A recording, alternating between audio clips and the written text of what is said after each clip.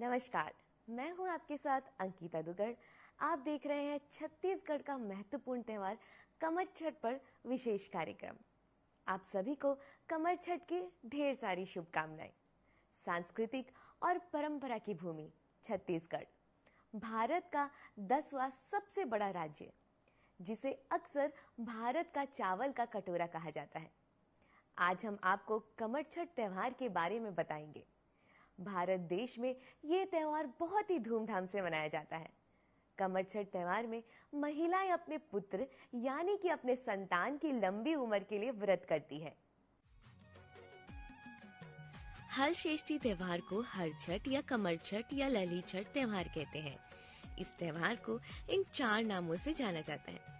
ये त्योहार उत्तर प्रदेश और बिहार तथा और राज्य में भी मनाया जाता है। छत्तीसगढ़ में कमर छठ त्योहार हर साल भाद्रपद कृष्ण पक्ष पंचमी के दिन मनाया जाता है। भारत में हर छठ त्योहार कुछ राज्यों में ही मनाया जाता है। हर राज्य में अलग अलग विधि द्वारा मनाया जाता है।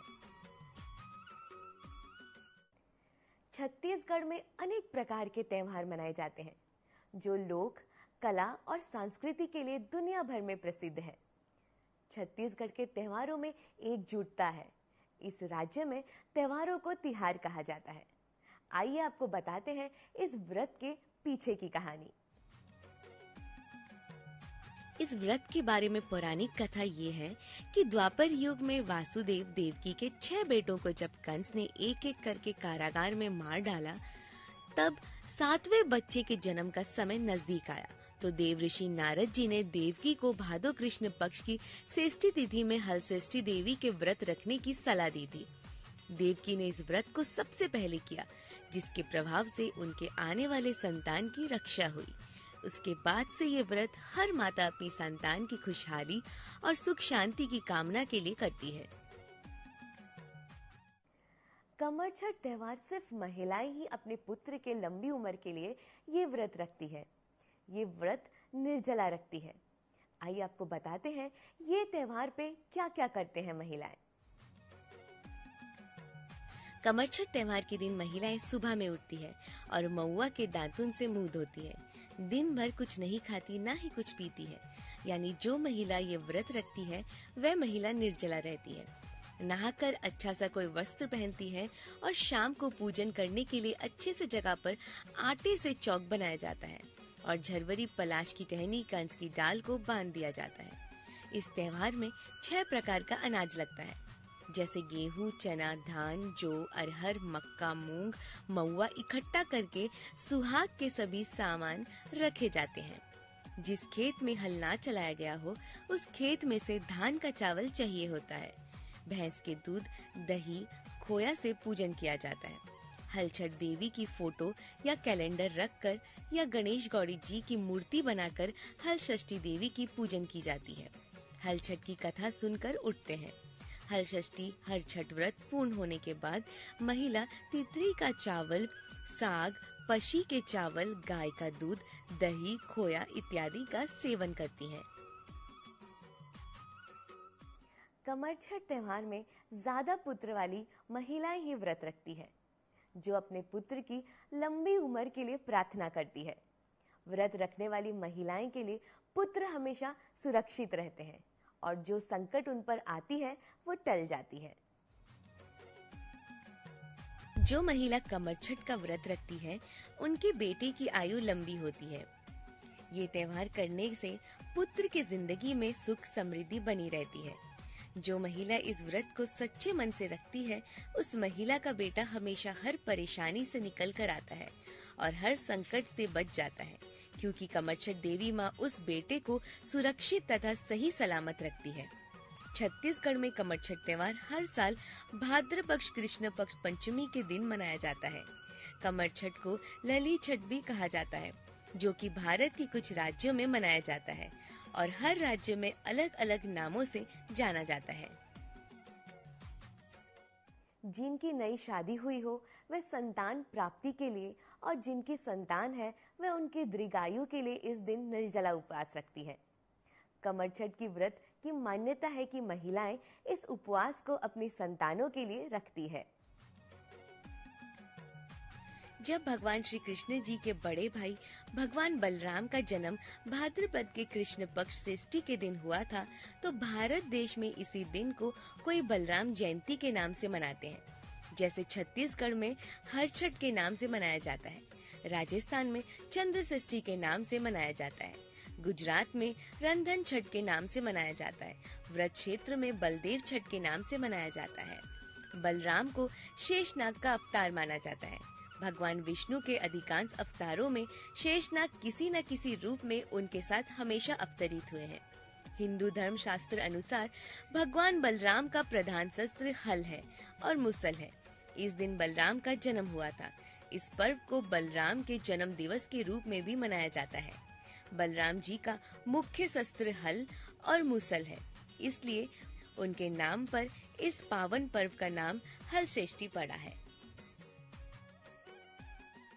छत्तीसगढ़ में ये त्योहार आदिकाल से मनाया जा रहा है। इस दिन विशेष भोजन पारंपरिक रूप से पतल में किया जाता है। पतल के लिए विशेष रूप से महुआ के पत्ते का इस्तेमाल किया जाता है। इस दिन बनने वाला भोजन के लिए भी विशेष नियम है। भोजन के लिए इस्तेमाल होने वाले सामग्री को ऐसे स्थान से होना चाहिए जहाँ हल ना चला हो।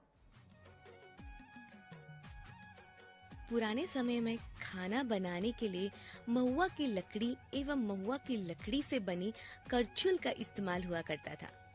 परंतु वर्तमान समय में उपलब्धता न होने की वजह से केवल महुआ के पतल और दोने का इस्तेमाल होता है। माताएँ पूजा करने के स्थान पर सगरी खोदकर पूजा करती है। इसके लिए उपयोगी सामग्री खरीदने बाज़ार में महिलाओं की भीड़ रहती है। शहर की गलियों एवं गाँव में पसहर चावल की बिक्री रहती है। संतानों की दीर्घ आयु की कामना को लेकर वे कमरछठ पर्व पर कठिन व्रत रखकर पूजा अर्चना करती है। इस पर्व पर उपवास तोड़कर खास अन्न पसहर चावल का सेवन करती है। बता दें कि ये चावल बिना हल के ही खेतों में पैदा होता है। कमर छठ के पर्व पर इस चावल की मांग अधिक होती है। माना जाता है कि इस चावल से ही व्रत तोड़ने की सदियों पुरानी परंपरा है। कमर छठ पर्व को महिलाएँ पूरे उत्साह के साथ मनाती हैं। शहर के विभिन्न मंदिरों में इस दिन भीड़ रहती है। कमर छठ देवी को धरती का स्वरूप माना जाता है। इसलिए इस दिन हल चले ज़मीन पर माताएँ नहीं चलती है और हल से जोती हुई ज़मीन से उपजित अन्य का उपयोग नहीं करती है। इसलिए ऐसी सामग्री जो स्वयं ही पैदा हुई होती है, उनकी मांग इस दिन बढ़ जाती है। इस दिन गाय के दूध व दही, घी का सेवन नहीं किया जाता। साथ ही पूजा करने के बाद माताओं द्वारा बच्चों को तिलक लगाकर, कांधे के पास चंदन की पोतनी लगाकर आशीर्वाद देती है। कमरछठ पर्व पर माताएँ पूजा करने के स्थान पर सगरी खोदकर भगवान शंकर व गौरी गणेश को पसहर चावल, भैंस का दूध, दही, घी बेलपत्ती कांसी, खमर, बाटी, भोरा सहित अन्य सामग्रियों अर्पित करती है। पूजन पश्चात माताएँ घर पर बिना हल के जूते हुए अनाज पसर चावल, छह प्रकार की भाजी को पकाकर प्रसाद के रूप में वितरण कर अपना उपवास तोड़ती है। पूजन के लिए सूर्य उदय से सूर्यास्त तक का समय रहता है।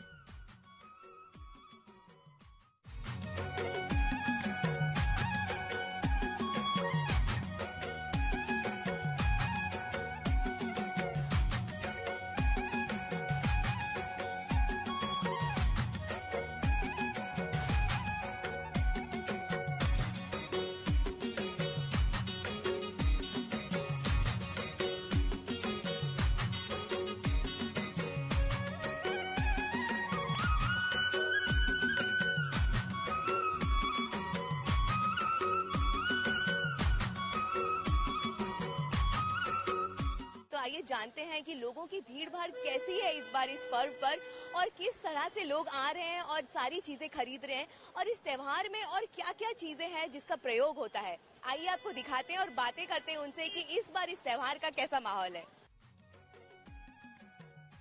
चलिए अब जानते हैं कि क्या क्या चीज़ों का उपयोग होता है कमर छठ के त्योहार में और बातें करते हैं इनसे और पूछते हैं कि ये क्या क्या चीज़ें हैं। जी मैम आपका शुभ नाम? मेरा नाम पुन्नी पांडे है। मैं पूजा के सामान बेच रही हूँ। तो जी आप हमें बताइए ये सब चीज़ें क्या है और इसका प्रयोग कैसे करते हैं? ये सब का पूजे के काम आता है। ये क्या है? ये ये पत्तल है ये दोना है ये दातुन है और ये भाजी है और ये महुआ है और ये भी महुआ है। इसका प्रयोग कैसे करते हैं? इसका प्रयोग मतलब बेटी बेटा के लिए उपास रहते हैं और इसका उपास में कहानी सुनने जाते हैं, उसके द्वारा इसका सब में खाना खाते हैं, इसमें इसमें पूजा उजा का सामान ले जाते हैं। और भाजी को छह प्रकार के भाजी को उसी आज के दिन खाना पड़ता है।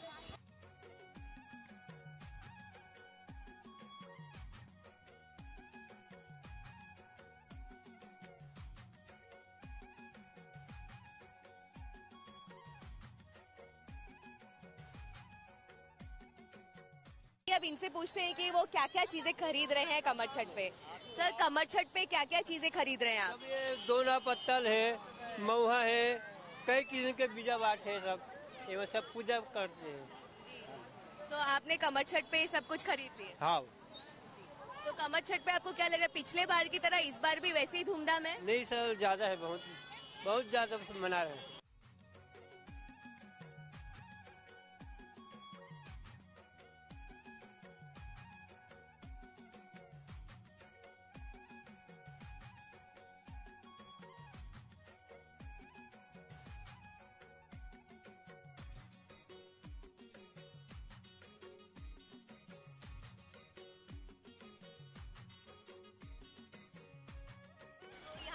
क्या बनाया जा रहा है? पतरी दोना और दतवन और सात पान कुकुर बिलई और भगवान सबके चढ़ाने के लिए और सगरी ले जाने के लिए।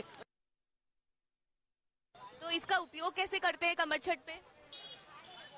पूजा के साथ करते हैं सगरी में लेकर इसमें लाई डालकर चढ़ाते हैं सगरी में जाते हैं वहाँ घर में जब पूजा फरार करते हैं ना तो इस पत्ता में से ये ये पत्ता है ना इसमें खाना को रख कर खाते हैं इसी में फलहार करते हैं।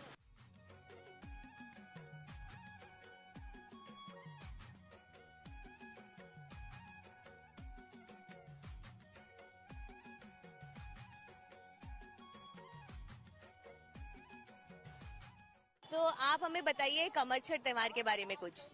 कमर छठ त्योहार सब एक बहनी ऐसे धंधा पानी हमन करथन। जो लेना रहते थे लेते लेते कमर छठ पूजा में हर सामान बिकते हैं। तो इस बार कैसे है बिक्री कमर छठ की? वैसे ही लोग आ रहे हैं जैसे पिछले साल था। पिछले साल है वैसे अभी नहीं लग रहा है मतलब शाम को लगेगा बाज़ार। अभी थोड़ा बहुत धीरे बांधे है ऐसे में तो कमर छठ पे महिलाएँ जो है अपने संतान के लिए व्रत रखती है ऐसा सुना है? हाँ सच बात है। हाँ, अपने बच्चे के लिए लगती है।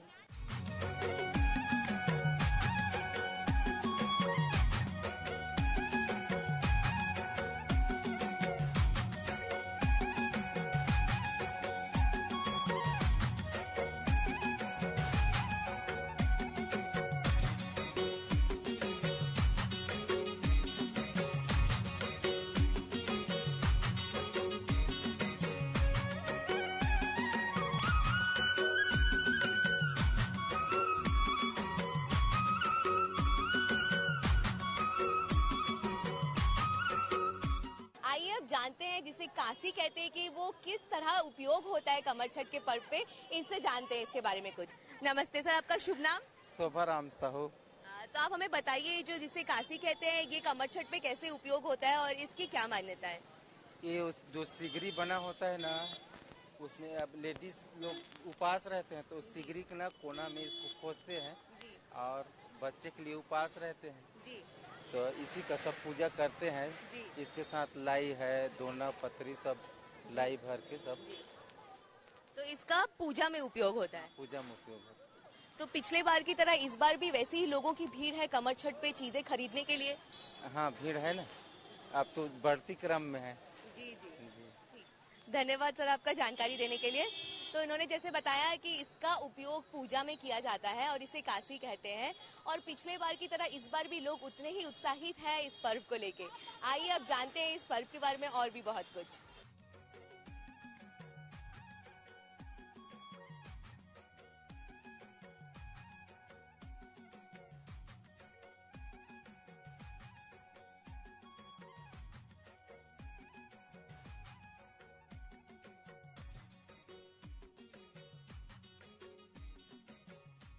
तो देख रहे हैं कि इन्होंने बताया वो जो आप पत्ते देख रहे हैं उस पे प्रसाद जो है वो खाया जाता है। आइए और भी बहुत अन्य प्रकार की चीज़ें हैं जो इस त्योहार में उपयोग होता है। जानते हैं इनसे और पूछते हैं कि और क्या क्या चीज़ें हैं आइए।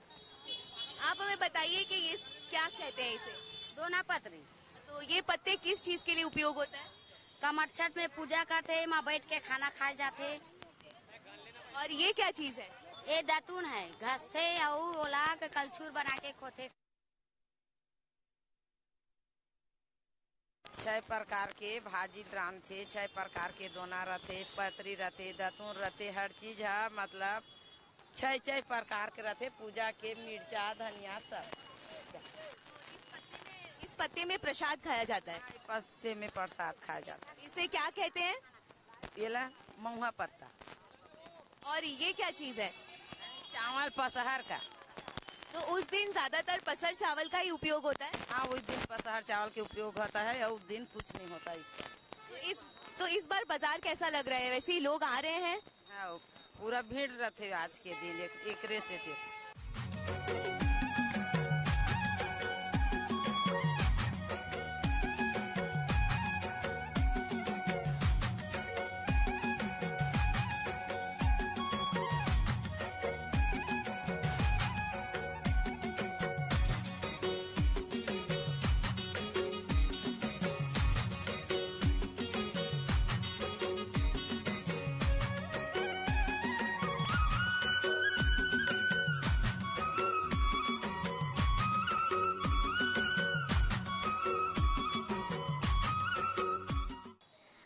बात करते हैं यहाँ के आम जनता से और जानते हैं वो कितने उत्साहित है कमर छठ पर्व को लेके जो कि छत्तीसगढ़ का प्रसिद्ध त्यौहार है और वो वहाँ पे क्या क्या खरीदारी कर रहे हैं। नमस्ते मैम आपका शुभ नाम? सोनल दुबे। तो आप हमें कमर छठ के बारे में कुछ बताइए आप यहाँ पे क्या लेने के लिए आई है और इस पर्व पे ज़्यादातर क्या चीज़ का उपयोग होता है? एक्चुअली कमर छठ जो त्योहार है छत्तीसगढ़ का लोकल त्योहार है और ये जो है वो अपने बच्चों के लिए रखती है माएँ। तो एक्साइटमेंट तो आप समझ सकते हो कि अपने बच्चों के लिए लोग कितने एक्साइटेड रहते हैं।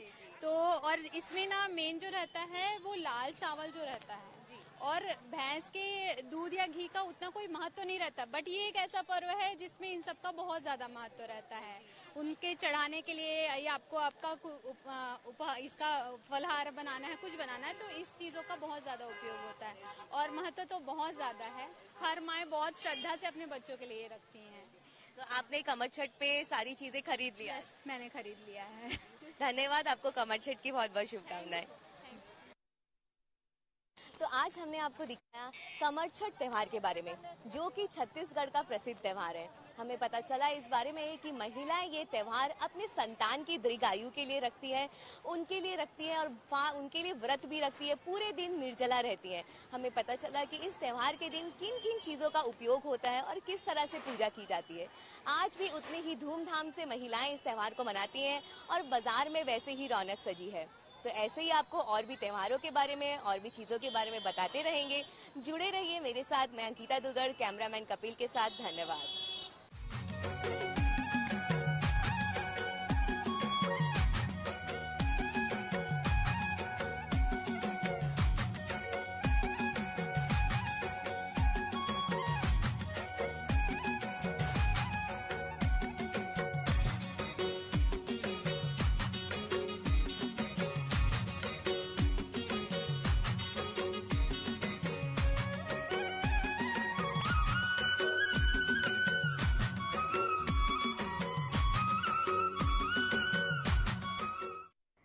आज के लिए इतना ही।